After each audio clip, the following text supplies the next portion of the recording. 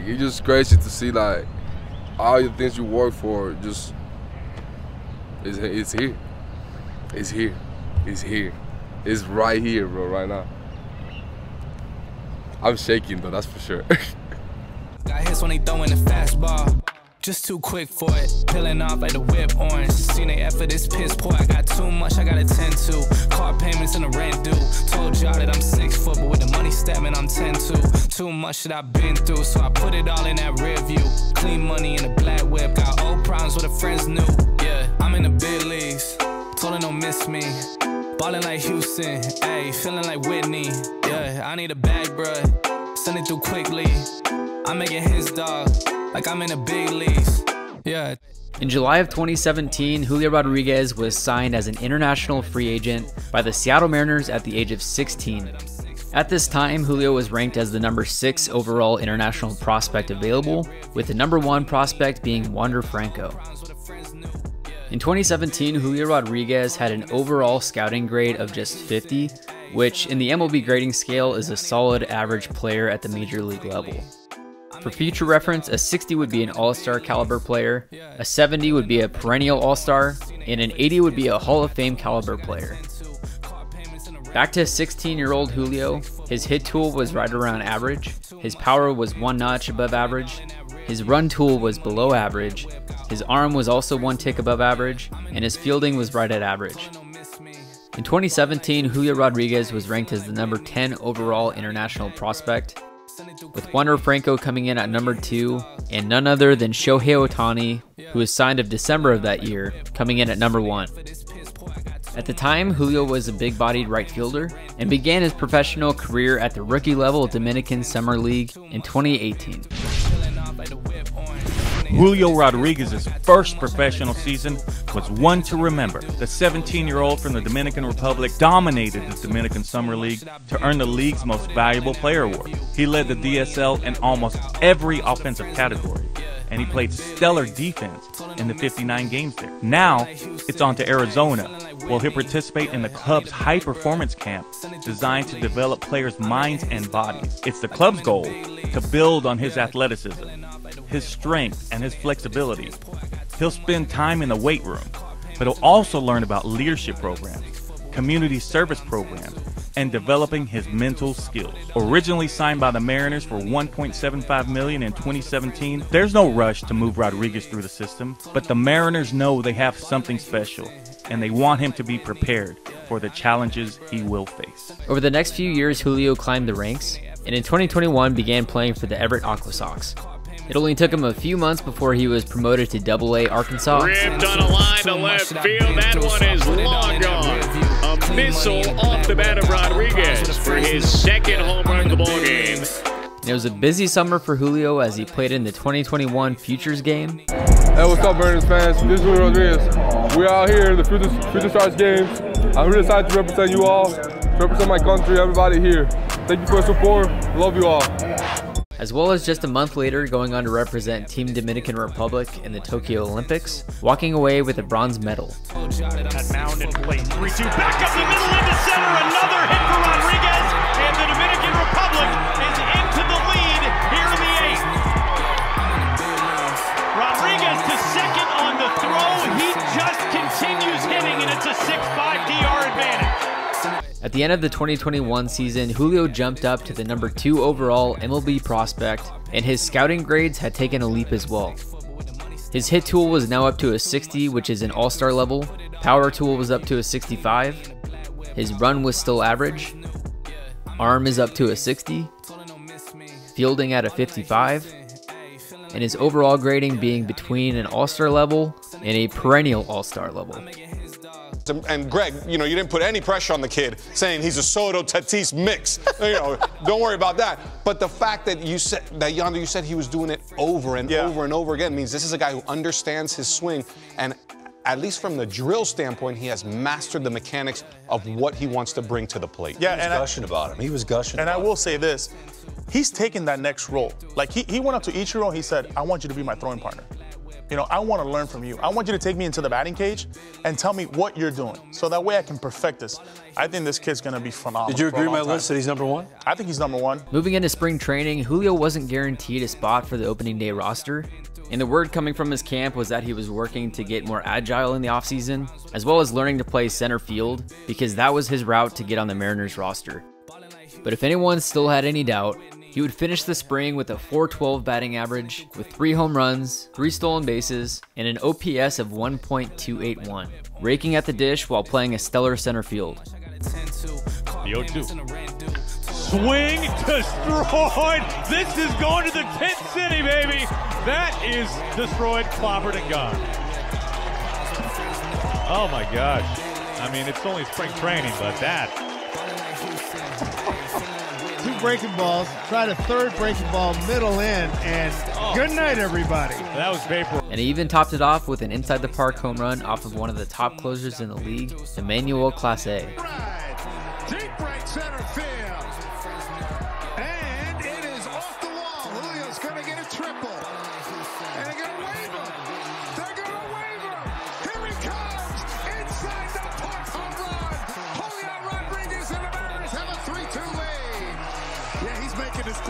You look comfortable in center field.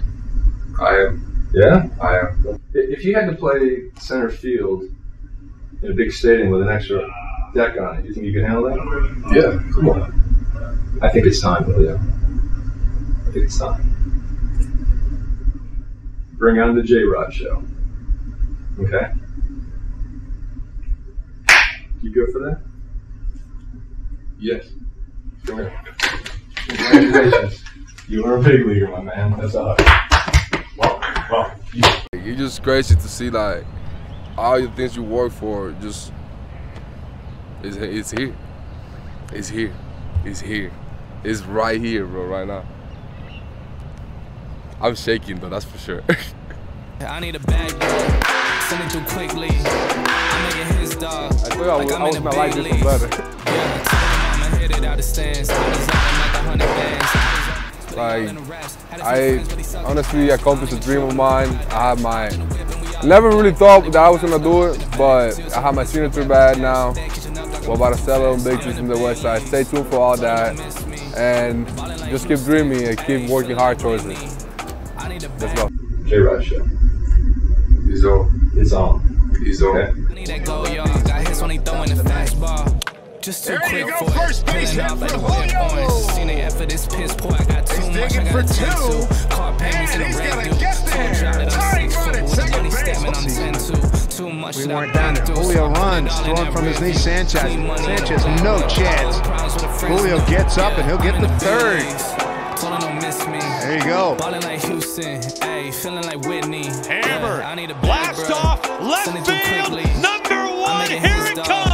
Like I'm in a big league. Julio Rodriguez yeah, with a mash of a three-run bomb. Bands. I deserve another hundred fans. Told them this was always in the plans. I just did it because they said I can't. Blowing years when I'm down in France. How I built a band. Told them put the shit up in my hands. Really got time to cat. Made a few shots, put it all in the rest. Had a few friends, but he sucked Julio Rodriguez was just named the AL Rookie of the Month for the second month in a row, making him the first Mariner player to win back to back Rookie of the Month awards since Ichiro did it twice in 2001, and he's the first AL player to win back to back Rookie of the Month awards since Houston's Yordan Alvarez in 2019. For June, Julio led all AL rookies in wins above replacement, weighted runs created plus, hits, runs, home runs, RBIs, total bases, and times on base, while tying for the AL rookie lead in stolen bases. Also in June, Julio hit the first of three consecutive home runs on June 22nd in Oakland to mark the first time since 2004 that the Mariners had gone back to back to back. Now, with his home run yesterday against the Padres, Julio became the fastest player in MLB history in just 81 games to reach 15 plus home runs and 20 plus stolen bases, surpassing Ellis Burks and Barry Bonds. Julio would end up being the only rookie selected the All Star game, and he ended up competing in the Home Run Derby, hitting the second most home runs in a Derby with 81. Over the wall, 21, 22 now. Carl, the beauty of this is that the players down the line, they're watching, they're standing up watching Julio Rodriguez right now. You got Kershaw standing and watching this display that this young 21-year-old is putting on. Last few seconds here, Kershaw standing. He's going to start the All-Star game, and Rodriguez ends it with a flurry and a big fly.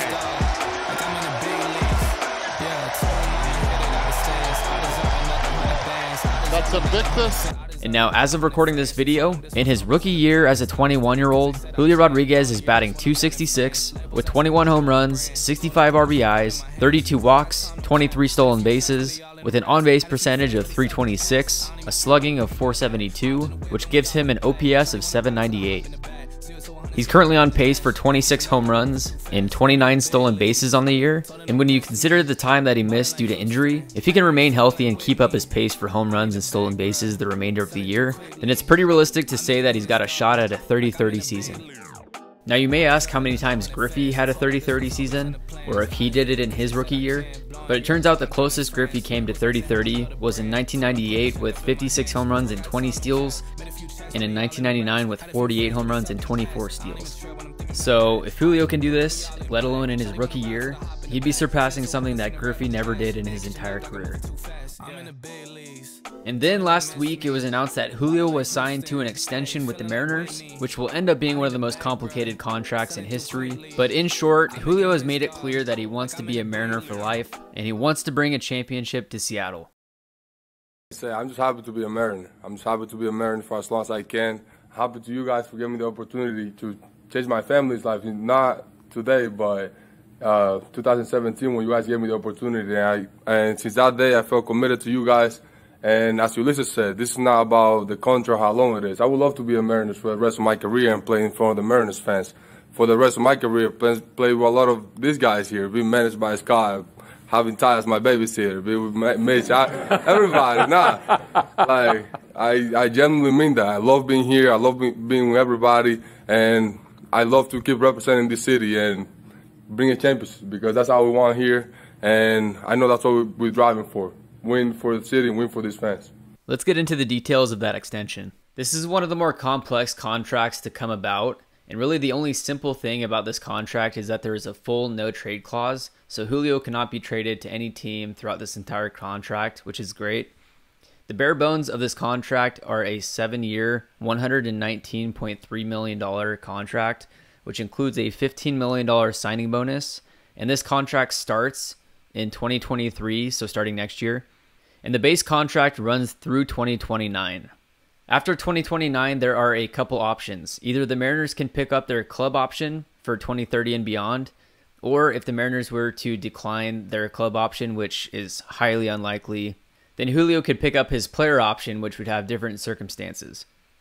Now, assuming the Mariners pick up that club option for 2030 and beyond, they actually have to decide on picking up that option after 2028 and the size and length of that team option is dependent on Julio's performance from 2022 through the end of 2028.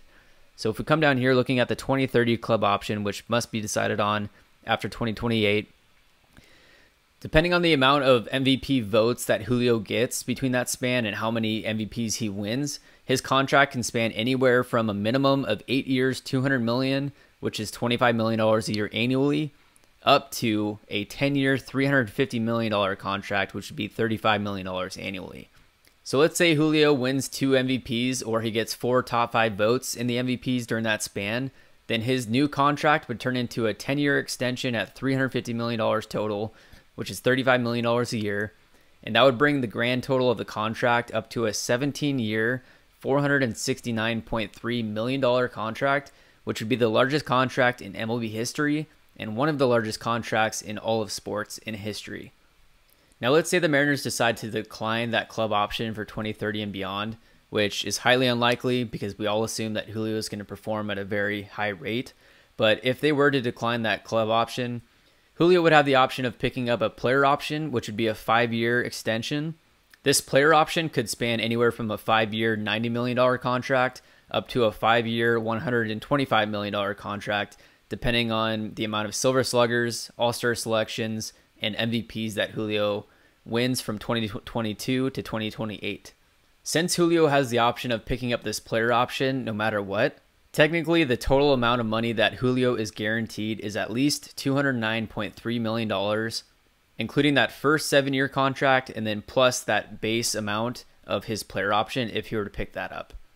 And then, as typical, there's various other bonuses that are included in here. So he'll make a certain amount of money if he wins the MVP, if he wins the World Series MVP, the League Championship Series MVP, Silver Slugger, Gold Gloves, or any All Star selections. Not only is this a big deal because it could be the largest contract in MLB history, but it also shows a new way of how to structure a contract to give the player the incentives as well as the guaranteed money. Julio gets a guarantee of $209.3 million with the incentive of being the highest paid player in history, assuming that he lives up to his potential, which both Julio and Seattle believe he can do. It's also big for Seattle because it shows other players on the team as well as future free agents that Seattle is willing to spend and commit to players when the time and the opportunity is there. Julio Rodriguez very well might be the next face of baseball, and to have him recruiting for your team for the next 17 years potentially is a big deal. It's also big that the club won't have to compete with the open market once Julio reaches free agency, and they won't have to go through a scenario like the Nationals did with Juan Soto or like the Yankees are currently going through with Aaron Judge. And needless to say, it's going to be an absolute blast to watch this guy play for the Mariners for potentially his entire career. So make sure your TV's on the right channel and tune in to the J Rod Show. Thank you for watching, and if you made it this far, make sure to hit that like button, subscribe to the channel, give it a share, and we'll see you next time. All right, guys, goodbyes only. Don't forget it. Told her don't miss me. Ballin' like Houston, ayy, feeling like Whitney. Yeah, I need a bag, bruh. Send it through quickly.